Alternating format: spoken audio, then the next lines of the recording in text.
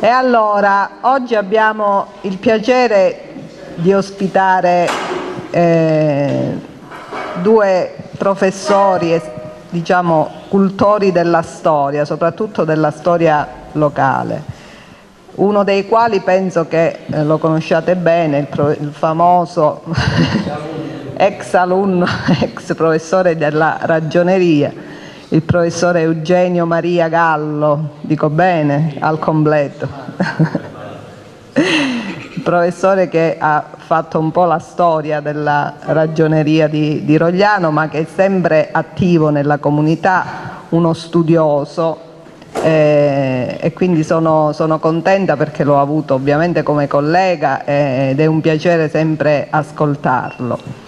Eh, e poi abbiamo il piacere di ospitare un altro cultore della storia, il professore Cosenza, ehm, che ho conosciuto da poco tempo ma che, eh, di cui ho apprezzato la grande cultura storica, soprattutto della storia locale e eh, che vi darà modo di ragionare su alcune eh, parti diciamo, della nostra storia un po' con il cosiddetto pensiero divergente, no? in modo critico rispetto a come la storia a volte ci viene presentata eh, sui libri, eh, nella eh, cultura diciamo, ehm, eh, più, più diffusa, nel modo di pensare più diffuso.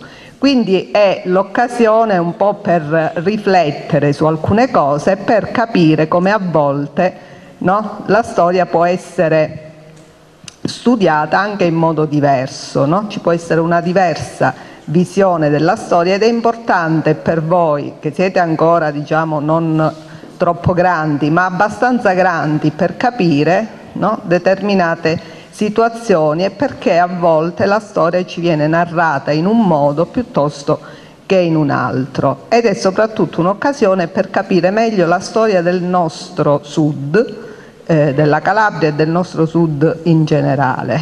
E visto che siete classi di terza media, ovviamente questa parte della storia la studierete e mi auguro che possiate trarre spunto da questo incontro anche per fare qualche riflessione in più, so che già lo state facendo nelle classi con i professori di storia, ne abbiamo parlato anche nei consigli, anche eventualmente per proporre qualche eh, argomento agli esami, ehm, agli esami di terza media.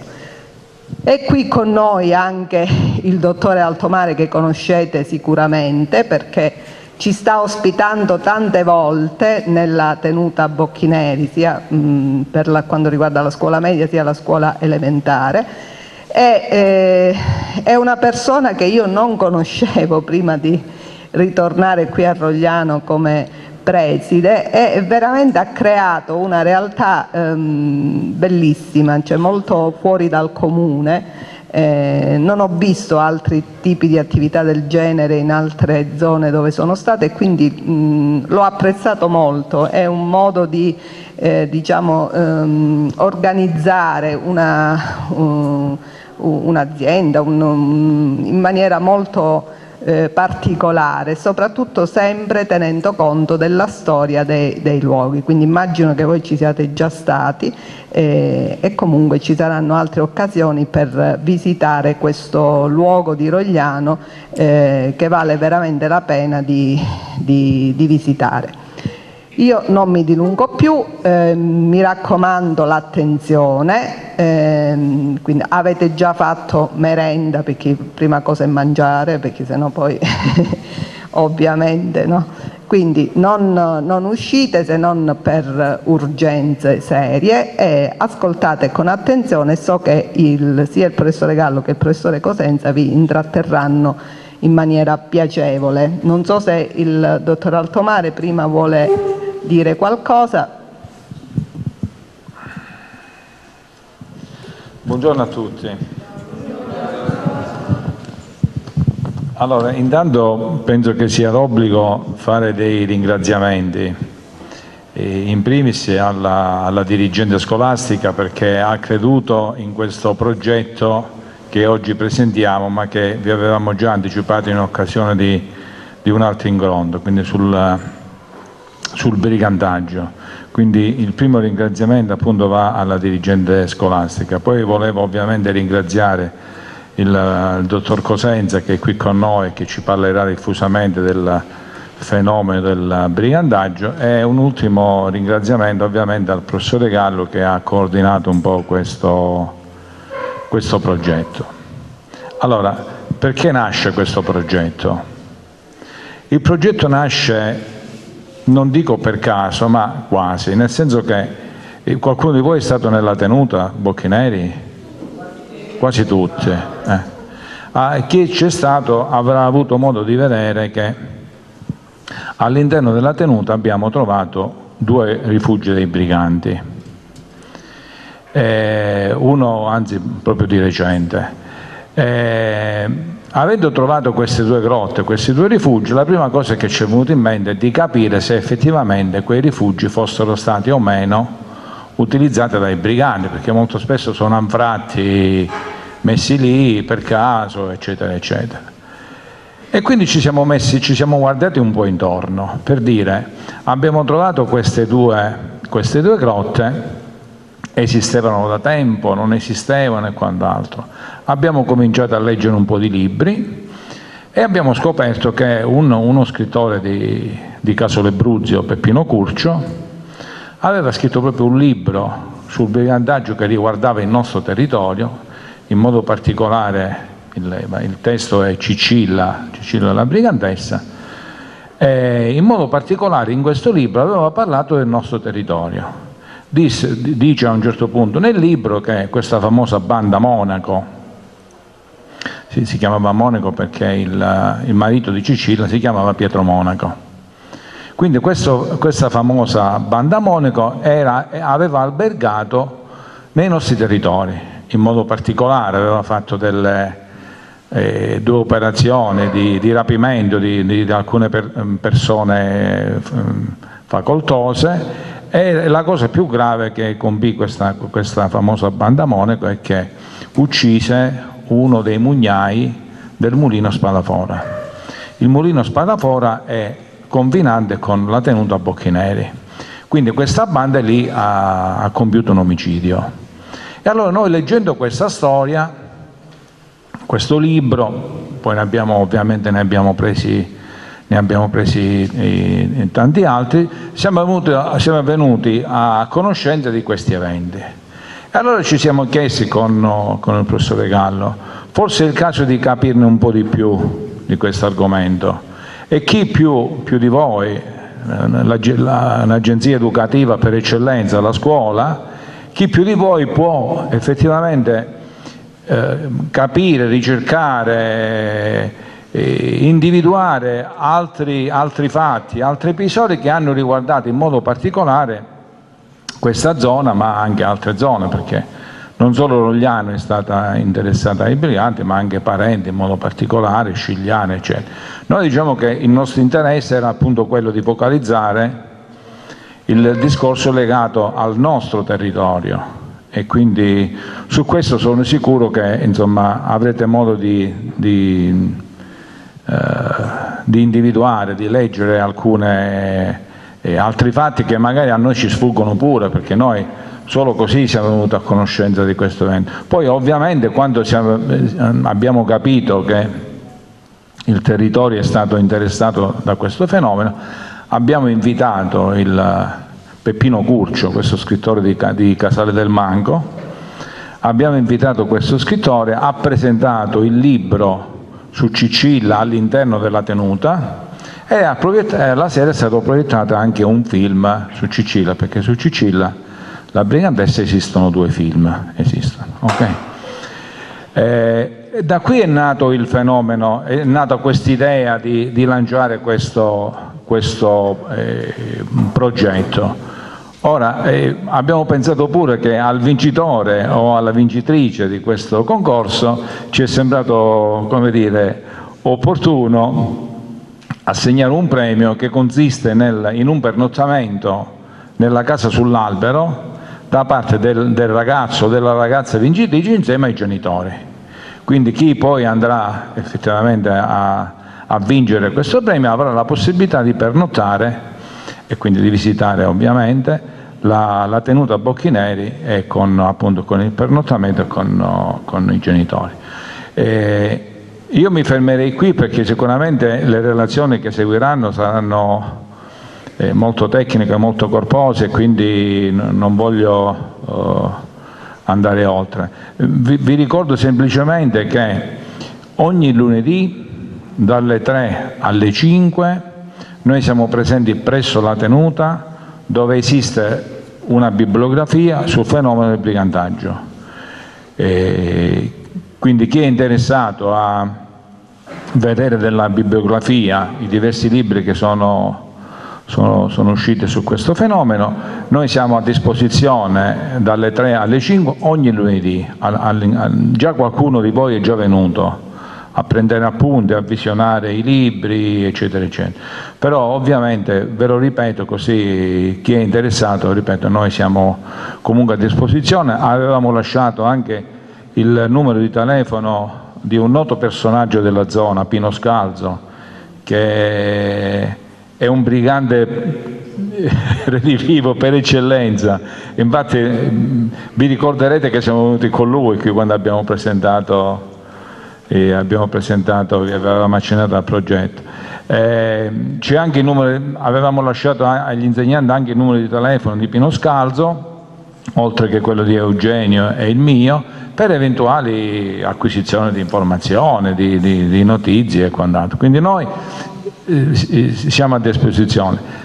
Concludo dicendo che siamo certi che da questo concorso uscirà qualcosa di bello, che magari non conosciamo e noi poi ovviamente vedremo in qualche modo di, eh, di, pubblicare, di pubblicare, questi lavori che farete perché eh, può essere davvero un momento, un'occasione magari non ripetibile per, per, capire questo fenomeno che ha interessato in modo particolare il nostro territorio. Io vi ringrazio e passo la parola a chi? Ad Eugenio o al dottor Cosenza.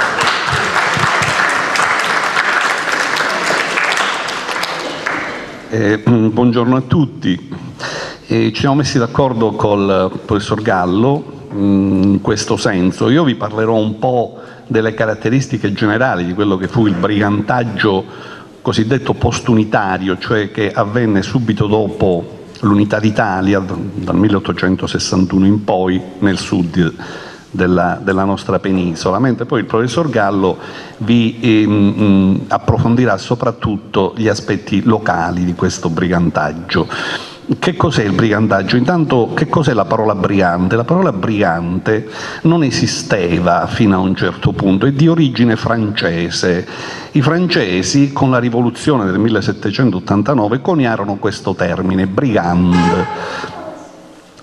Prima i malviventi venivano chiamati banditi, nel senso di messi al bando, allontanati dalle loro città proprio perché eh, erano dei malviventi. Il termine brigante fu eh, creato dai rivoluzionari per affibbiarlo a quelli che erano i loro nemici. Vedete, come giustamente diceva prima la dirigente, c'è una storia ufficiale che è quella che voi leggete nei libri di studio, e c'è una storia non ufficiale, parallela e spesso, diciamo, per trovare l'obiettività bisogna un po' fare un'opera di sintesi fra la storia ufficiale e quella parallela. La rivoluzione francese, che tanti benefici ha portato eh, in quello che è stato poi lo sviluppo storico del mondo, ha avuto anche degli aspetti poco piacevoli eh, le stragi, gli omicidi, i veri e propri genocidi che furono eh, eseguiti dai rivoluzionari nei confronti delle popolazioni che si opponevano. E i briganti per i, le repubbliche mm, che sorsero in Italia portate da Napoleone erano gli avversari delle repubbliche, erano tutti coloro che si opponevano al nuovo ordine portati dai francesi. I briganti, quindi, un primo brigantaggio ci fu eh, ai primi dell'Ottocento con le guerre napoleoniche e anche lì diciamo che il brigantaggio più agguerrito era nel sud Italia. Dopo una cinquantina d'anni il fenomeno si ripresentò e gli fu dato ancora il termine di brigantaggio. Dopodiché questo termine è scomparso. Già dal XX secolo si è tornato a parlare di banditi, di malviventi, non si è parlato più di briganti. Ora, per restare al periodo che ci interessa, quindi al, subito dopo l'Unità d'Italia, fenomeni di brigantaggio c'erano un po' dappertutto. In Romagna c'era un famoso brigante, Stefano Pelloni, detto il passatore, che terrorizzava interi paesi, rubava, uccideva. Mm, in Piemonte, nella città di Torino, c'era quella che oggi si definirebbe una organizzazione mafiosa, la Cocca, che teneva praticamente in pugno la città Vedete, per questi fenomeni di brigantaggio fu sufficiente ricorrere alle normali forze dell'ordine, ai carabinieri, ai gendarmi. Nel brigantaggio invece nel sud Italia si dovette ricorrere all'esercito. Ci fu un momento in cui 120.000 soldati erano spiegati, erano dispiegati in tutto il sud per venire a capo di questo fenomeno.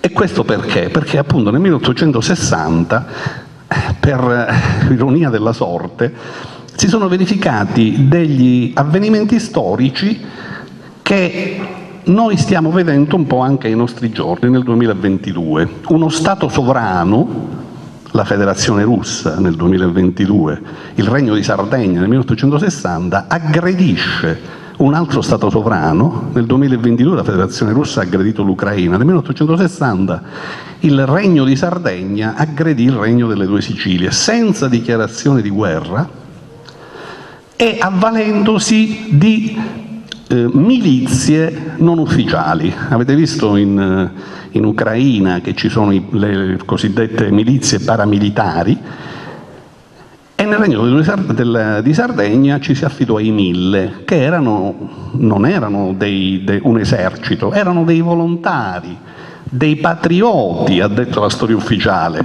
dei banditi, ha detto la storia non ufficiale, e, e ehm, praticamente in questo modo si, eh, si verificò questa guerra di aggressione. Certamente la differenza sta nella reazione del resto del mondo. Oggi, per fortuna, quasi tutto il mondo è, è schierato dalla parte dell'aggredito. Nel 1860, purtroppo, per una serie di circostanze che non vi sto a eh, spiegare nei dettagli, tutto il mondo era schierato con l'aggressore. La Gran Bretagna e la Francia, che erano le grandi potenze, appoggiavano il regno di Sardegna che aggrediva il regno delle due Sicilie. Di modo che una volta aggredito, una volta conquistati i territori del Regno delle Due Sicilie, si fecero i referendum farsa, un po' come adesso la Russia l'ha fatta nei territori conquistati dell'Ucraina, dei referendum farsa, falsati, in base ai quali la popolazione dava il proprio assenso ad entrare nel nuovo Regno d'Italia.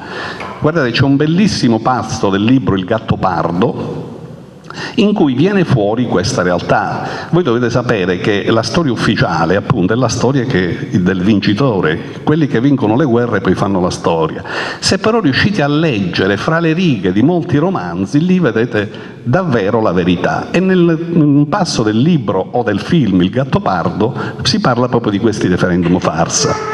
Fatto sta che questa situazione scatenò il brigantaggio il brigantaggio è stato un fenomeno molto variegato, per anni, per decenni lo si è voluto relegare a semplice fenomeno di delinquenza. E non c'è dubbio che fra i briganti c'erano i malviventi, c'erano coloro che approfittavano di questa situazione di confusione che si era venuta a creare per regolare i loro conti, per uccidere gli avversari, per rapire, per taglieggiare ma il brigantaggio in realtà fu un fenomeno molto più complesso, perché fra i briganti non c'erano solo i malviventi. Tenete conto che stiamo parlando dei bisnonni dei vostri bisnonni. E quindi probabilmente fra i bisnonni dei vostri bisnonni c'erano dei briganti. E magari non erano tutti dei malviventi, Magari il bisnonno del tuo bisnonno era un ufficiale dell'esercito del Regno delle Due Sicilie che non volle tradire il re a cui lui aveva giurato fedeltà e per questo motivo venne imprigionato e deportato nei campi di prigionia del nord Italia. Oppure il nonno del tuo bisnonno, il bisnonno del tuo bisnonno può darsi che fosse un contadino a cui i nuovi arrivati avevano promesso le terre e che invece le terre non le ebbe, anzi ebbe un aumento delle tasse, la tassa sul macinato, per cui si trovò alla fame. E l'unico modo per cercare di sopravvivere era darsi alla macchia, diventare un brigante. Quindi un fenomeno molto variegato, ma che per decenni è stato confinato a fenomeno di mera delinquenza e non era così. Che cosa succedeva in quegli anni? Ecco, per fortuna da una quindicina d'anni a questa parte è sorta una letteratura alternativa che ha cercato appunto di vedere quegli anni sotto una nuova luce. E su questo dobbiamo dare conto sicuramente a Pino Aprile, che è stato il primo che ha scritto dei libri di, di, di facile lettura e che ha dato una nuova luce a quei terribili anni che, aveva, che hanno vissuto i nostri antenati. Pino Aprile dice io non sapevo che i piemontesi fecero al sud quelli che i nazisti fecero a Marzabotto. Non sapevo che nelle rappresaglie si concessero libertà di stupro sulle donne meridionali come nei Balcani o come i marocchini in Ciociaria. Non sapevo che il paesaggio del sud divenne come quello del Kosovo, con fucilazioni di massa, fosse comuni, paesi che bruciavano sulla collina e colonne di migliaia di profughi in marcia. Io non sapevo che i primi campi di concentramento e sterminio in Europa li istituirono gli italiani del nord per tormentare e farvi morire gli italiani del sud. Come potevo immaginare che stessimo così male nell'inferno dei Borbone che per obbligarci a entrare nel paradiso portateci dai piemontesi ci vollero orribili rappresaglie, stragi, una dozzina di anni di combattimenti, leggi speciali, stato di assedio e lager? e che quando riuscirono a farci smettere scegliemmo piuttosto di emigrare a milioni, non era mai successo prima, perché una delle conseguenze dell'unità d'Italia e del brigantaggio fu che molti bisnonni dei vostri bisnonni, che per la prima volta in vita loro conobbero la fame, furono costretti ad emigrare. E ancora una volta qui vi devo spronare a leggere dei libri. Avete letto il libro Cuore? L'avete letto? Allora, il libro Cuore è ambientato nel 1880, poco dopo l'unità d'Italia. Se vi ricordate i racconti del libro Cuore, quelli che parlano dell'emigrazione, tutti gli emigranti erano emigranti del nord Italia. Ve lo ricordate Marco, il genovese degli Appennini Alleante? era costretto a lasciare Genova e a fuggire in Sud America per la fame. Ve lo ricordate il piccolo patriota padovano che sul transatlantico si offende perché sente degli uomini parlare male dell'Italia? Era di Padova.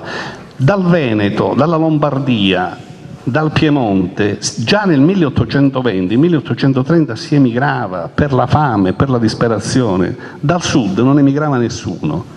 Dal 1870 è iniziata questa grande tragedia dell'emigrazione che ancora oggi non ha fine. Ancora oggi si emigra, non si emigra più con la valigia di cartone, ma col trolle elegante, non emigra più il povero contadino, ma emigra il giovane laureato e con i master e i dottorati, perché ancora adesso siamo una terra di emigrazione. Ecco, questa realtà che prima dell'unità d'Italia non esisteva è iniziata purtroppo a far danno anche nelle nostre terre. Per fortuna, come vi dicevo, da una quindicina d'anni hanno cominciato ad uscire libri che cercano di dare al brigantaggio il suo vero significato e finalmente, finalmente possiamo non vergognarci più di aver avuto un bisnonno brigante, che prima invece era motivo di, di vergogna, bisognava nasconderlo. Adesso possiamo anche non vergognarci più. Conoscete Fedez, il famoso rapper? Fedez è originario di un paesino della Basilicata, Castellago Pesole. Un anno fa ha dichiarato con orgoglio che lui è un discendente di Ninconanco, uno dei banditi, uno dei briganti più feroci della Basilicata nel periodo postunitario. L'ha dichiarato con orgoglio, ha detto che suo padre somiglia tantissimo a questo brigante e che lui è orgoglioso di essere un discendente di Ninconanco. Ecco, studiando il brigantaggio forse dobbiamo finalmente essere orgogliosi, riscoprire la nostra identità e non vergognarci più di un periodo storico in cui sicuramente ci sono stati degli eccessi, sicuramente ci sono stati degli episodi di bassa delinquenza, ma è un periodo storico in cui tante persone, tanti nostri nonni sono stati costretti a fare la scelta per fame, tant'è vero che allora fu coniato il termine o brigante o emigrante. Non c'era possibilità di vivere qui in modo onesto, l'unica era o darsi alla macchia sui monti o scappare oltre oceano. Vi ringrazio, poi magari più tardi se qualcuno vorrà fare delle domande risponderemo.